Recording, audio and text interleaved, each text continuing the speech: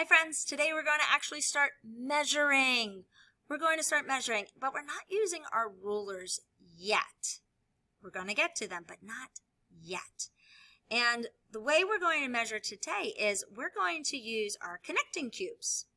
So you have these connecting cubes and to measure, no matter what we're measuring, we need to make sure that whatever we're using, it needs to be the same length.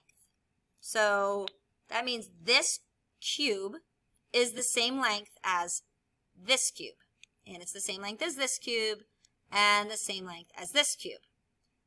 I can't use this post-it notepad and this post-it notepad and say that they are the same length and say, oh, it's two post-it notepads long. What? Well, does that tell me really how long it is? No, because this one is much shorter than this one. That didn't work. I need to make sure whatever I use are the same length. What if I use these pencils here? Okay, they're pencils. And what if I say, oh yeah, my computer is two pencils long. Wait a minute. This pencil's much shorter than this pencil. So if I say something's two pencils long and imagine that you think, okay, yeah, it's going to fit in this because that's two pencils long. And then all of a sudden I have normal size pencils and they're the same size. Wait a minute, that changed an awful lot. Look how much it changed. An awful lot. They're not the same length. I can't use something that's different sizes to measure. So even if we're not using standard measurement like a ruler or a tape measurer, we have to use something that is the same. That's what makes it standard. Something that's the same. All right, so let's start measuring. I have my post-it notes. We always use post-it notes. So let's see. How many cubes long is my post-it note pad? Well, I'm going to take my post-it notes and notice when I do this, I'm not doing it like this. This is not how we measure because I lost all of this. And if I count up and say it's one, two, three, four, five, it's five cubes long. No, it's not because this one's not even part of it. When I measure, I need to make sure that it's up against this edge is up against this edge. Yeah, they can't be all wonky like that. That doesn't work. So now I'm looking at my cubes and look, this is not perfect, but golly gee, it's pretty close. I have one, two, three, four. This post-it notepad is about four cubes long. Notice that I don't have to pop my cubes apart to do this. I can count my cubes when they're still connected. I don't need to take them apart. That's going to make my job easier when I'm measuring. So they're stuck together.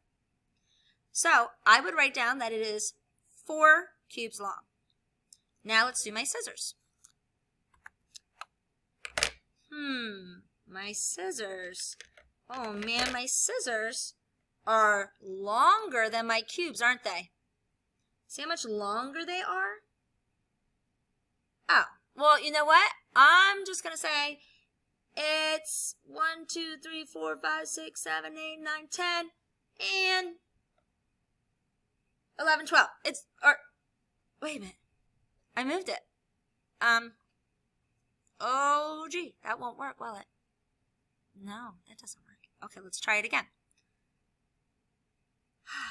One, two, three, four, five, six, seven, eight, nine, ten. Hmm. I know what I can do. I can get my other ones.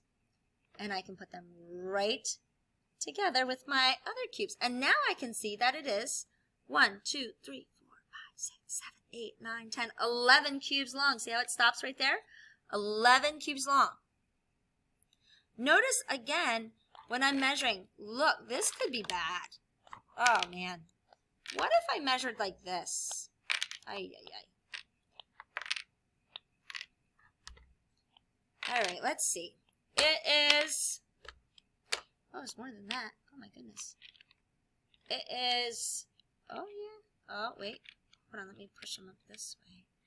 Maybe up against, yeah. Yeah. Oh, now I'm measuring like the curve of it and, mm, wait, I'm gonna put some here. All right, let's see. That one goes there. Um, that looks good. Okay, let's count. How, that's not to work?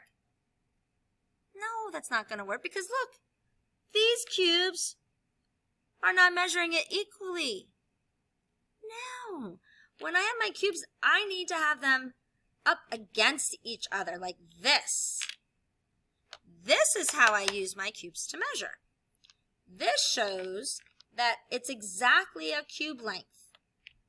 What if I wanted to do it like this? Okay, well, I don't have enough cubes, so I'm just going to do it like this and put my cubes like this.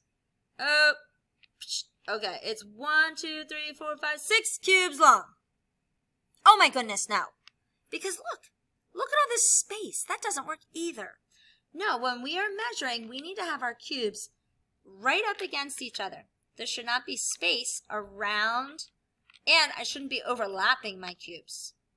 When I use extra cubes, I again, I have to push them together because that's equal amount of distance. So my scissors are 1, 2, 3, 4, 5, 6, 7, 8, 9, 10, 11 cubes long. Let's measure something else. Here is my square. I know, you thought you were done. All right, here's my square. I I want to measure my square. Is this right? No, it's not right because I'm not putting it up against the edge. It has to be against the edge. There, now it's against the edge of what I'm measuring with. And I can see that it is one, two cubes long. Hmm, I wonder how long a cylinder is. Let's look.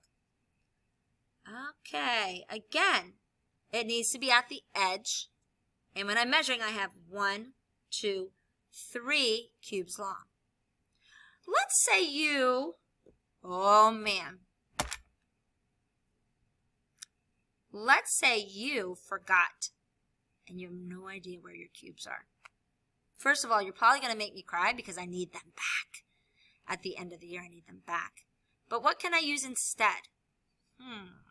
Well, instead of using cubes, I can use anything that has the same size. I have many of things that are the exact same size. For instance, I have pennies. I have lots of pennies. I need to put them here. Notice that my pennies are not laying on top of each other. Oh no, that won't work, will it?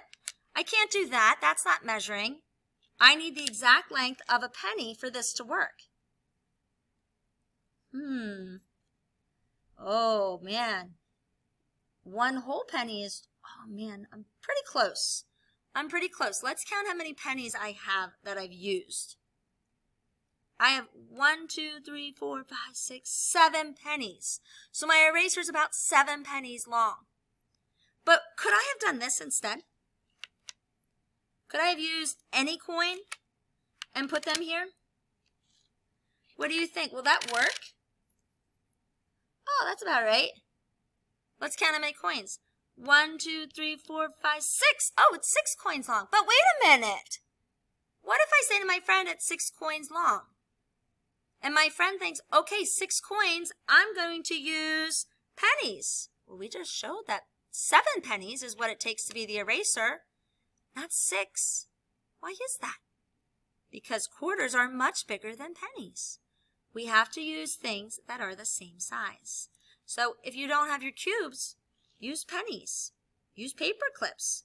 You have to use something that they are the same size.